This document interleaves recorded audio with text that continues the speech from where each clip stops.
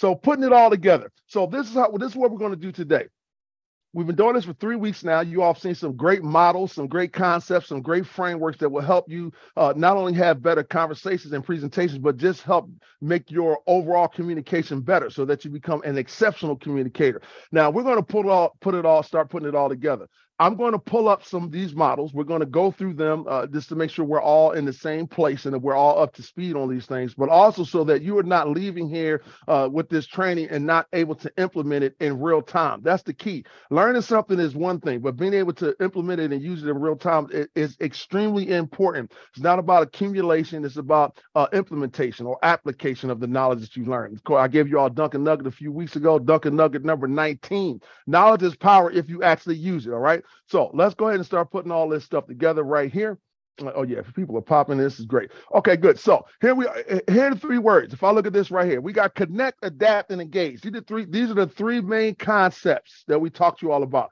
The secret sauce for all great communication, right? Is connection it's connection. If if you don't connect with the listener, the reader, whoever the receiver is, it's very hard to get your point, get your message across. It's very hard to engage in a meaningful conversation to establish value and things of this nature, right? So connection is the key, right? And, and along with that, if people say what's the most important communication style, we always say, well, it doesn't matter what your personality is. If you're quiet, outgoing, you're laid back, reserved, introvert, extrovert, all of that, it doesn't even matter. The best, the thing that matters most is can you adapt? Can you figure out a way to bring what you do the best, whatever that is? Everybody has strengths, right? So we focus on your strengths, we manage your weaknesses, but can you adapt that? And then can you engage?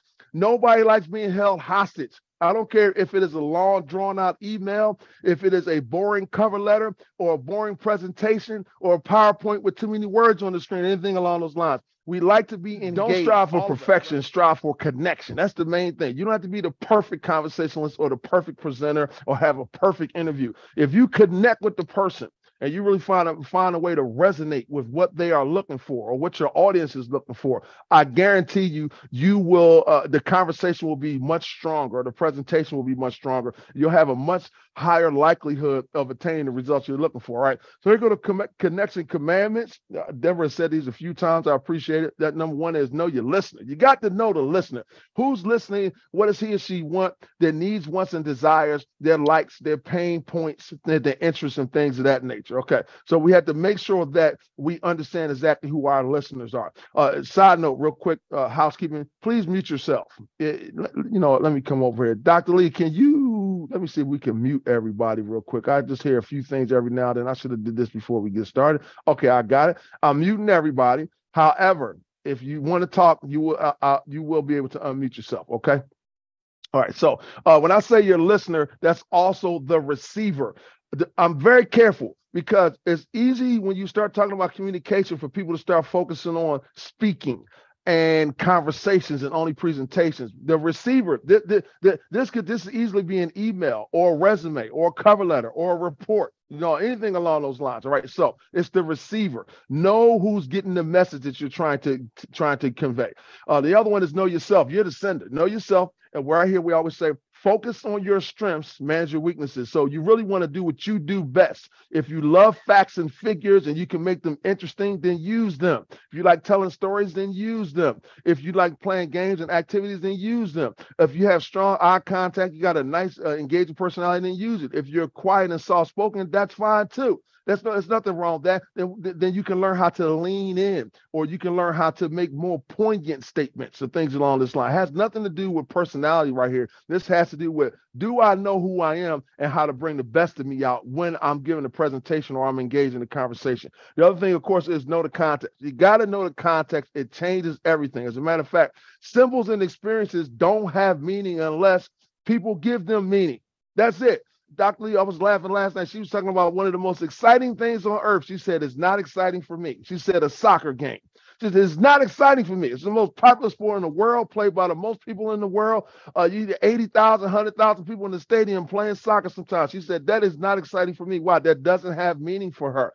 Uh, we talked to you about emojis and how they can get uh, misconstrued, even though they're trying to convey emotions and things of this nature. I told you all a quick story about the young lady who got a thumbs up from her manager and was not happy about it because it didn't mean to her, to her which, what the manager thought it was going to mean. So just keep that in mind. Symbols and experiences don't have meaning unless people give them meaning. That's why context is so important. When you're a master of the context, then your presentations, your conversations will go a lot better. Okay. Next thing is um, the best communication style to have. I don't care if you're outgoing communication style or what your Myers Briggs said and all this other stuff. I'm trying to tell you the best communication style is adaptable. That that, that should be your style. Whatever you do, whatever your personality traits are, as we're bringing out your strengths and managing your weaknesses, it's it's got to be wrapped around this uh, this whole concept of being adaptable.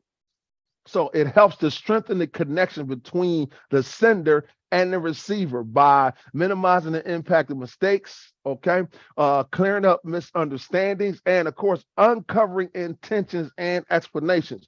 Now, when I say adaptable, it doesn't matter. So if you're sending an instant message, if, you, if you IM with somebody back and forth because your company uses Skype or something along those lines, or y'all on Facebook or whatever, right? And and and something seems like it's getting lost in lost in translation. All right, so the adaptable communicator, the, the adaptable communicator immediately says, "Hey, hold on, hold on. Do you have a few minutes? Can we hop on the phone real quick? Can we hop on Zoom? Can, you know, can we get on video? Can, can, can we do something? Can we go on WebEx? I don't care what it is, Google Meet, Teams.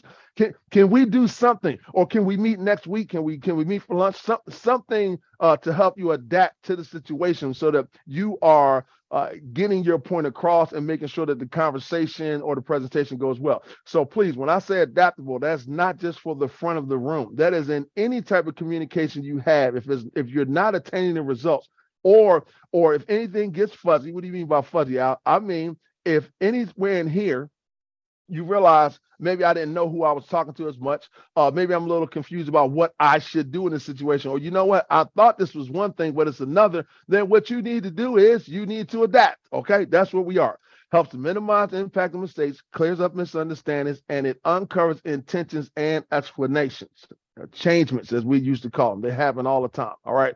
Uh, here go the five soft skills clusters. This is the main one that we're focused on right now. It's communication. That's the ability to send and receive clear messages. But of course, all of that affects your decision making and your problem solving, helps you to recognize, create, and choose effective options and solutions, your teamwork and collaboration. That is, can you work with others? This is the number one uh, most desired trait in entry level professionals. Matter of fact, I, am not even to say entry level. When they when they actually did the research, they found out it is for anybody, especially that's new coming into an, uh, a new work situation or even long term. They're just like, please, can you work with us without disrupting everything? Can you work with? Can you get along with folks some type of way? All right. So uh, the other one is self-management and professionalism. Uh, that is just this is about you personally. This do you demonstrate the behaviors and character traits that you need to demonstrate in order to achieve these outcomes? That's on par, uh, not with the average standards, the highest standards of your role or position, and of course the ability to What's inspire. What's the recipe for a great presentation? You all know. And let me know in the chat real quick tell me some of the things that you need to have a great presentation like some things that we that we need to let you know or some things that need to be present in order for you to uh, have a great presentation anybody i don't care you can unmute yourself even if you want to talk about it uh, let's see. Do you need valid information? Yes, please you want to you want to get your presentation messed up start start giving the presentation. Everybody's like every word coming out of your mouth is wrong not cool at all. Knowing the material thank you very much greg. Some people gloss over this so much. This is part of knowing yourself. You, you are the material you want to train on is part of knowing you. How, i've seen people fumble and fiddle faddle over the stuff because you don't even know your own doggone presentation man. Know your material. I agree with that wholeheartedly. Uh, Tamara know the context for sure please, some stuff is funny in one context, another context is not. Sometimes it's boring in this context, sometimes in other contexts it's not. I agree with you wholeheartedly. Uh, relevant information from Gregory. Yep, got to be relevant. This is called provide a valuable destination. Eh, you can have the, you can have the best presentation in the world.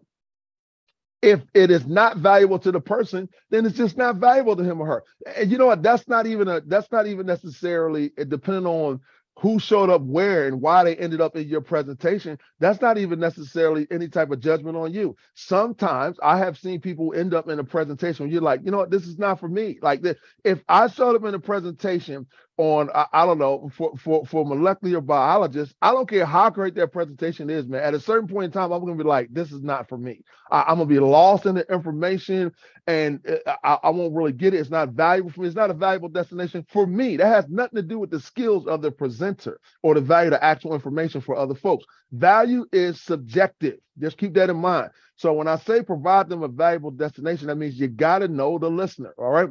Uh, Greg says engagement, connection. Yes, asking questions, stories relevant to what you're teaching. I like this boy, Greg. You you, you got the assignment, man. You give me back all my stuff.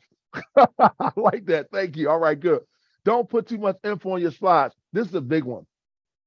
So to me, and and I'm gonna stop here for a second for y'all, for all my STEM folks, man. Because I, I, well, when I come over here in the, in the scientific community, the math community, you know, uh, uh, depending on where I'm dealing, if I'm dealing with a bunch of engineers and stuff like that, boy, I look at these, I was like, good God Almighty, did, did, do you need? Can you find some more space on there? Can, you, I don't think you got enough words on there, man. I think you you going for the Guinness Book of World Records. How many words can you put on one slide? Right? Too much info on the slide or your font is too small, not cool. That's going to definitely jam up your presentation. If, first of all, real quickly, some of you all have, some of you all know this, so it'll be good review for you. Knowledge is power if you use it, okay? right? Uh, some of you don't know this, so let's break it down for you real quickly. They, you, you all asked me about this last week, so I went and got it. We went and found our presentation on the STAR method, and I put those slides in here for you. All right, so here we go. The S stands for situational scenario. Describe the situation. What was going on? Who was involved? Let's watch these questions. I'm saying. So, we're saying member of a student organization, that didn't tell me what was going on. That didn't tell me who was involved. That didn't tell me where it took place. It didn't tell me when it happened. There's a lot of there's a lot more information that could be there, right? So, what was going on? Who was involved? Where did it take place? When did it happen? Those are some examples. How did you? How did they feel?